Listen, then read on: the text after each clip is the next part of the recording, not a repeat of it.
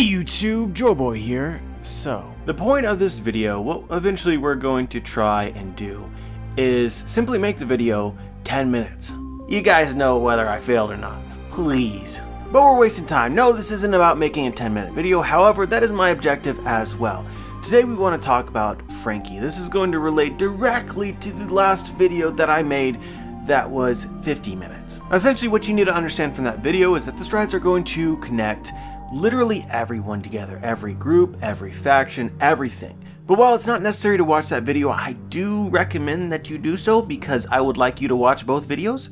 Do I need another reason? Link in the description. You can watch it after this one. Called The Straw Hat Army will be insane. So one of the important concepts that I discussed that are relevant to this is that Oda's going to give even more connections to the current Straw Hat members, the members of the crew themselves, in much the same way that Sanji became a Vinsmoke, Zoro's probably related to the country of Wano, maybe royalty, and Oda's decked out Luffy in pretty much every way that you can imagine and he may not be done. Obviously, the Straw Hats already have some connections that are very noteworthy. Robin is the last person from Ohara. Franky trained under Tom, who happened to also have the blueprints to the counter Pluton. Usopp is already the son of Yasopp, who is a member of the red-haired pirate Yonko crew. Right, these things are already built in there, I'm just going to suggest that there may be more. But in this one we want to add to Franky, because I think that there is room to. This is just an aside, but I think that names are important in the world of One Piece. Oda uses names as actual plot points pretty commonly. So just some examples of this, we've already talked about Zoro and Sanji. I think that Zoro becomes Shimotsuki Zoro or something like that. Sanji is now Vinsmoke. Sanji, you have this whole concept of the D initial, which is related to names, and it's taken even further with Trafalgar Law because he is, is not only given the middle initial of D, but also a middle name of water. This isn't just true of Strats, you see this with Momonosuke. Momonosuke was just Momonosuke for a long while until it was Kozuki Momonosuke. Sometimes you have examples like Ace, where it's Portgas D Ace, but that name was incorrect, at least paternally. We're not going to go through all these theories, but I just want you to understand that names are important in One Piece. Oda uses them commonly to create hype. And perhaps the most unique example of a weird name in the story of One Piece, or at least weird in how it's used, is Franky. We know Franky's real name. His real name is Cutty Flam. But the fascinating thing about this name is that Franky has not used it for near enough 20 years. And Oda created this scenario in a very natural way that totally makes you dismiss the importance of the name itself. Iceberg asked Franky to drop the name Cutty Flam because it tied him to Tom and thereby the blueprints of Pluton. Doing it this way removes any sense of possible secrecy. In a way, it's kind of an inversion of Sanji, where Sanji's last name was missing. Well, Franky's last name is missing in a very different way. Most of the world simply does not know because on every Franky bounty poster, the name is Franky. The only people who appeared to know Franky's real name, besides Iceberg, was the world government with all of their connections. They could only barely discover this fact, because Cutty Flam is assumed dead. And even further than this, and I find this to be interesting, if somebody were to recognize Franky from his youth, they would have a difficult time putting a face to actual Franky because that dude has been experimenting on himself for a very long time. He looks nothing, especially now, nothing like he should. So basically what we're speculating here is the name Cutty Flam is important. It's potentially recognizable or significant in some way, but in what way and why don't we already know? There are three theories that I think are prevalent about Franky. Franky is the child of Vegapunk. I like this theory quite a lot. But its main issue is that Franky reveals that his parents were pirates and that they kicked him off their ship and it doesn't vibe with me totally. There's a theory that Franky's family are in the Revolutionary Army. I don't like this theory that much. And there's a theory that Franky is a descendant of the famous shipwright family from the Void Century, the one Din tells us is responsible for designing the Noah and likely designed the Pluton. I personally think that this family was a family of fishmen and relates to Din and Tom, not Franky. So being unsatisfied with the theories that I've heard, I'm looking for something that I really like. And in this video, I found it. And I'm going to speculate something that I'm 100% sure you have never heard before. The idea is, is that Franky's family are big time players in the One Piece underground. So don't judge too quickly, let's lay out the evidence. And let's begin with what we know about the underground. Little known fact, the first time that the underground came up in the story of One Piece was through Franky. He mentioned the black market where he purchased Adamswood, which he ultimately built the Thousand Sunny out of. First mention of the underground in the entire story. It didn't really come back up, or we didn't really see it again until Sabaody when we got in, uh, introduced to the human house, which was owned by Doflamingo, who we later learned was perhaps the most important player in the underground, going by the alias of Joker. Now, there's two really important concepts here, right? First off, a pirate, Doflamingo, was a major player in the underground. Second off, Doflamingo, despite already being a pirate, had a codename specific to the underground called the Joker. Not the only character that we know that had an alias. Mother Carmel was known as the Mountain Witch.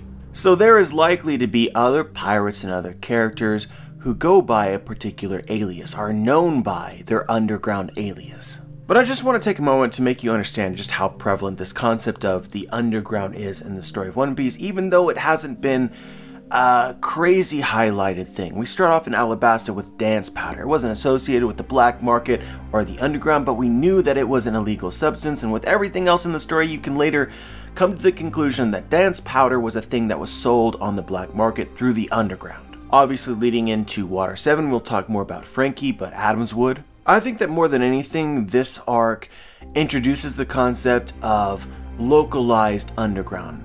Pretty much every major country or major area has its own market. Then of course we see the human house in Sabaody. This leads directly into Amazon Lily where we meet somebody who was sold as a slave. This takes us into the new world where again the concept comes up once more with mermaids. Caribou trying to be real dodgy. We then have an arc which is pretty much solely dedicated to the concept of the underground. Even though we don't get a payoff necessarily, I don't feel like we're paid off to the concept, like it feels resolved within the story.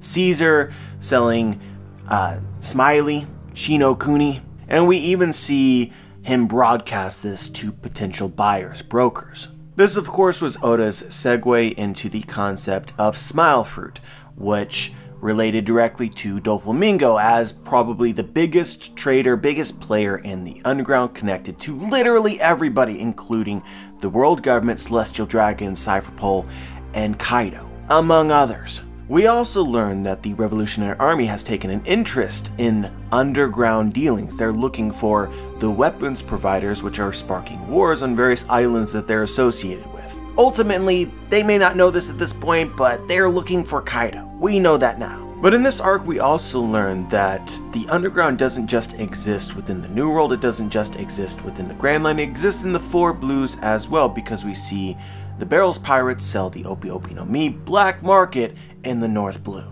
But of course, most of this does actually spider out of the New World, and we see this even more clearly in the next arc in Whole Cake Island. Big Mom is associated with Underground Emperor. She invites them to her tea party. I think here we get a greater sense of the multitude of products that the Underground provides. Stussy, Pleasure District, Jigra, who is an organs dealer, Mother Carmel, who provides orphans. Dufeld was a loan shark. They call Drug Peklo the major undertaker. Personally, I think he holds a scythe. I think that he is an assassin. A theory that we made a long time ago that I really like is that he's a bounty hunter, but he's the black version of a bounty hunter because he takes bounties that are illegal, which I would assume would include law abiding people. But I think that mainly what you can take away from Whole Cake Island is this underground really starts to become its own entity. It grows into something that should play a role in the future of the story, and for sure that we know that it will, at least in one way. Stussy, a member of CP0, is deep undercover as an underworld emperor.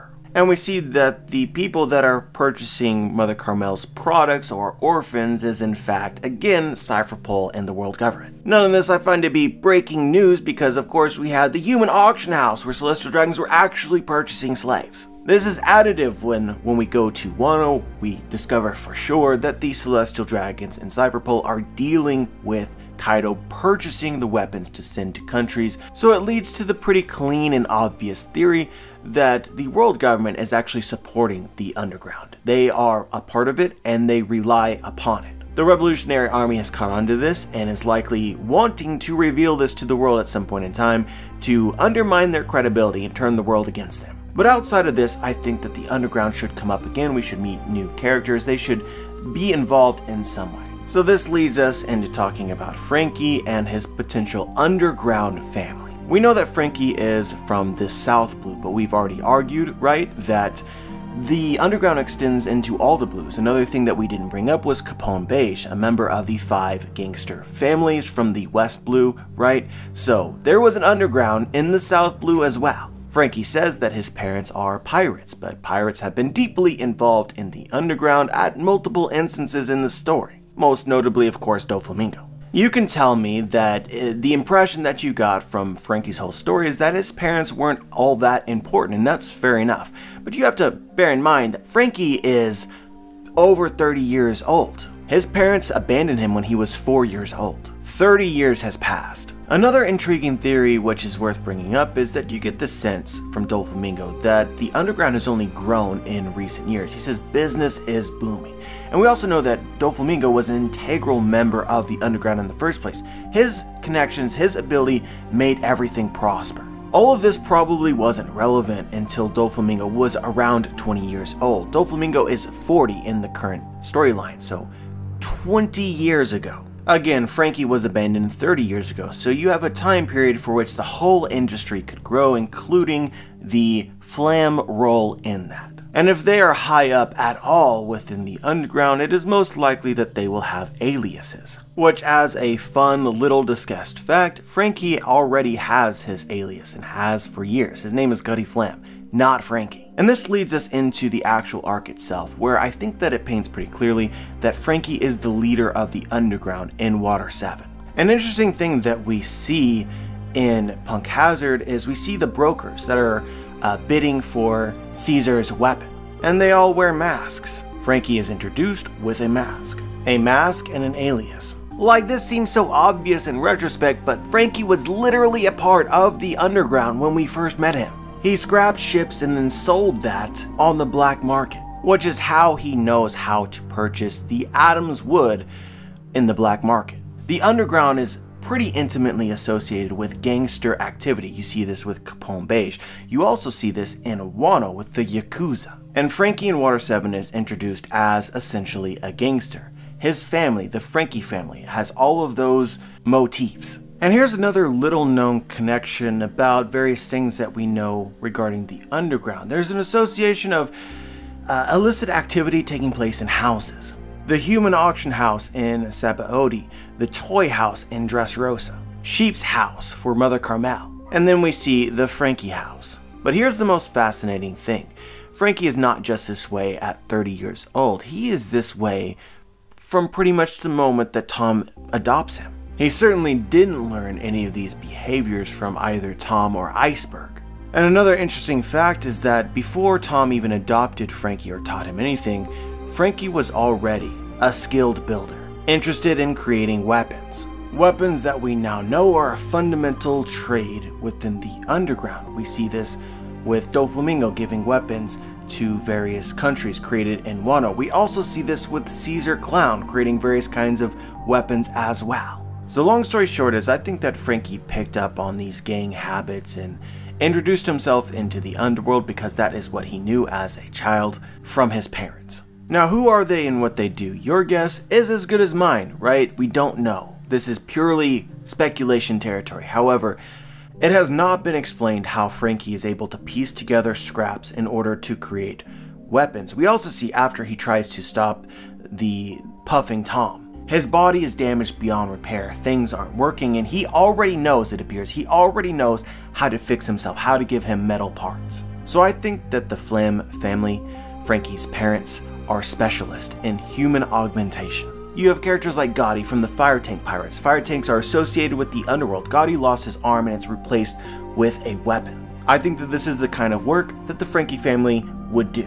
You could say that we've seen other people demonstrate these uh, capabilities throughout the story, for instance Queen or Vegapunk with the Pacifista, but neither of these seem for sale or like sort of a black market variant. It could also be true since we know that the world government is connected to the underground that Vegapunk works hand in hand with Franky's actual parents, or some other family member, for instance a brother or a sister. But yeah guys, that's the theory. I think that it would be really cool if Cutty Flam, Franky's parents and or family were associated with the underground, potentially even an underground emperor who goes by an alias. Anyway, I really hope that you enjoyed this theory. As always, I'm curious as to your thoughts. You can leave them in the comment section below. If you enjoyed the video, show support for it by clicking the thumbs up button and subscribing.